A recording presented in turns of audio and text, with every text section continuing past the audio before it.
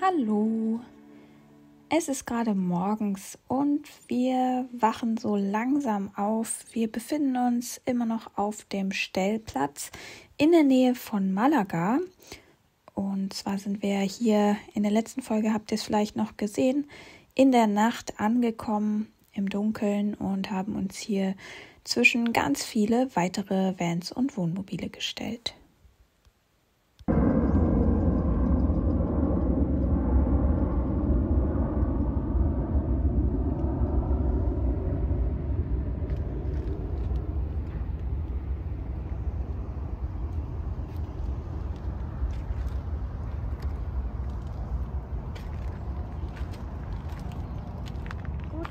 Morgen. Hier ist ein riesengroßer Parkplatz. Bis hinten hin voll mit Wohnmobilen. Kostenlos zum Stehen und zwar direkt am Meer. Da hinten nur über die Straße ist direkt das Wasser. Super schön.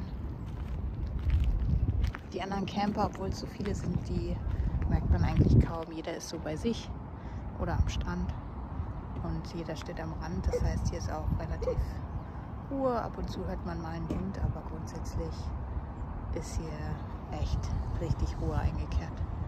Drüben wird mit Solar geladen.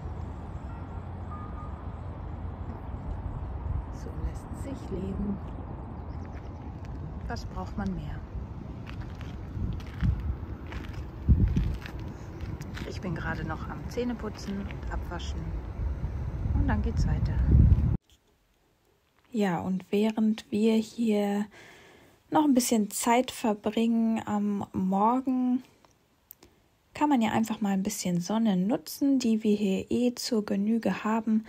Und so habe ich einmal meine Powerstation im Fahrzeug angeschlossen und zwar das Ladekabel für das Fahrzeug eingesteckt. Hier rechts seht ihr den Schuko-Stecker. Das Ladegerät steckt im Auto und an die Jackery ist noch angeschlossen ein 200 Watt Panel. Ähm, ich habe tatsächlich zwei dabei. Ich habe jetzt aber eins nur aufgebaut, zur Sonne ausgerichtet, um mir einfach noch ein bisschen Sonne mitzunehmen und das Ganze in Strom umzuwandeln und die Powerstation einerseits zu laden und andererseits mit der Powerstation wiederum das Auto zu laden. Das ist natürlich eigentlich nur für den Notfall gedacht, denn viel Kilometer kann man dadurch nicht aufholen, aber es reicht, um so einige Wege schon einmal zu überbrücken. Und hier wäre es jetzt absolut gar nicht nötig gewesen, aber einfach mal zum Spaß das Ganze anschließen, die Sonne mitnehmen, die Energie, die man nun mal hier auch hat. Und gleichzeitig kann ich nochmal die Powerstation auch ein bisschen vollladen denn die nutze ich trotzdem noch nebenbei ähm, für die elektrischen Geräte, Laptop, Kameras und so weiter, was ich alles mit habe. Und so kann ich die zugleich dann auch noch mal ein bisschen vollladen. Ja, ist jetzt hier nur mal so eine Spielerei, denn wirklich effizient ist es natürlich nicht aber für den Notfall auf jeden Fall eine Absicherung und es macht einfach Spaß, die Energie, die vorhanden ist, dann einfach mitzunehmen.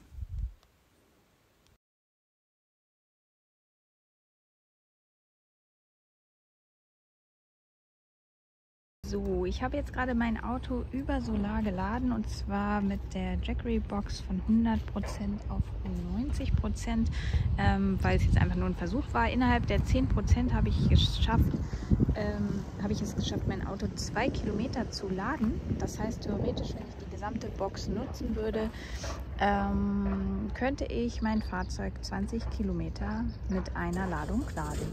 Das ist doch schon mal ein gutes Backup für den Notfall. Und ja, 20 Kilometern kann man gut nochmal die nächste Ladestation erreichen, wenn mal was sein sollte. Und ansonsten ist in ähm, circa 15 Stunden die Box auch wieder von 0 auf 100 vollgeladen mit Sonne.